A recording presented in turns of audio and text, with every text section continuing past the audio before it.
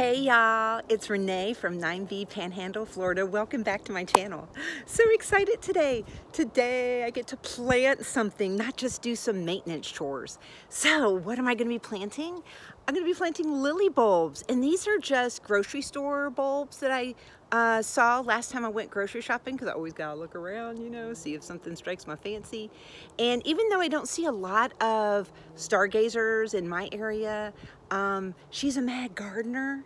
Uh, says, and she lives like in, I think more central Texas. I'm not quite sure, but she grows them and they do great for her and they're perennials. I also picked up some red ones. Now, normally the lilies that I see, not super crazy about the colors, but I do like solid colors and the stargazers have a, have a really strong scent kind of allergic a little bit to it, but I'm hoping it will be wonderful in my garden. So I can't wait to show y'all and get to work on that. All right, let's see what we got cooking here. We got some stargazer lilies. Oh, I am so excited to give these a try. I've grown a lot of daylilies in my yard, but I'm not really fond of their color scheme. And they're a bit weedy meaning that they grow quite invasively. Um, but I'm optimistic these might stay more contained. So it says here you'll need to plant them four inches to six inches deep and four to six inches apart from one another. And it says here that my grow zone should be now, January to February. And uh, they do grow, um, I think, around two feet tall or so. Uh, and uh, yeah, I'm really excited to give these a try. Um, there's four in a um, package, and they're six bucks. And they're a perennial. When? I'm pretty sure these will come back here just because my daylilies do great here. All right, so there is another lily that I picked up besides the stargazer. And they are, um, if I haven't said this, there were four for six bucks. So we're going to look at this other one. Yeah, this is a really pretty red one here. And uh, let's take a look. So these are Commander-in-Chiefs, and they are a solid color. Um, I thought they might look nice with the stargazers that I picked up. Again, there's four bulbs for about six bucks and has all the identical instructions and directions on the back of it too. So just the same. All right, let's go ahead and see how these bulbs look. I think we're gonna do looking at the Stargazer first. Packed in some peat moss. And uh, yeah, nice. Has some root. The bulb looks pretty much nice and firm and intact. Um, I did notice that when I smelled the bag, it had a faint odor of lilies, which was kind of interesting. Um, but let's take a look at the other three. Yeah, more of the same. Looks really good. Roots, nice tight bulb. That one had a, a single lobe that was a little loose, but it's still holding on. Look at the others. Yep, great again. Has a slight rosiness to the bulb, which is kind of interesting for the stargazers. And after taking out the next batch of stargazers, they were all identical. So very pleased. All right, now time to take a look at these Commander-in-Chiefs.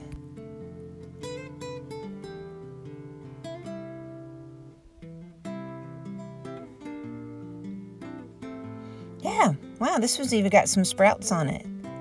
Nice. Yeah, this is going to be good. For sure.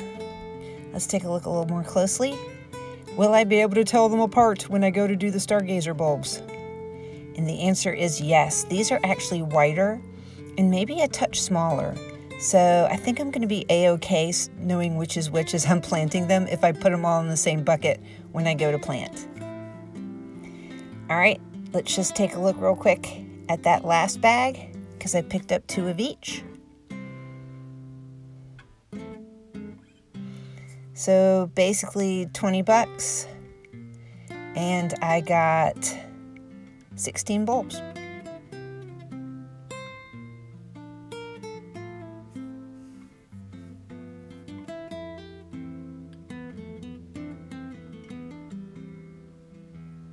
Great, looks wonderful. Yeah. No extra bulbs though. No bonus content there. Sorry.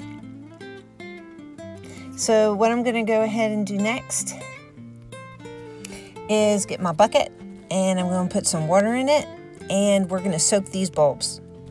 Probably a completely unnecessary step, but I figure why not? These guys have been sitting in a bag for a while. They probably need a little bit of rehydrating.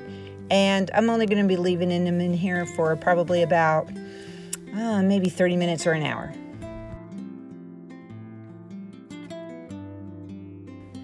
All right, so this is the area I'm thinking about planting. In particular, I was originally thinking I could put these along the border, but the longer I look at this area, I'm thinking I'm going to wrap them around this uh, mulberry tree that I have.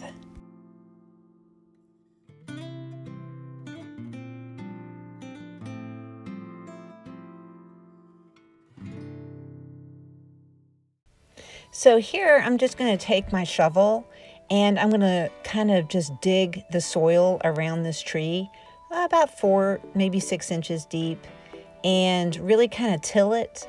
And I'm going to be adding some uh, fresh made soil to it as well uh, to help amend it.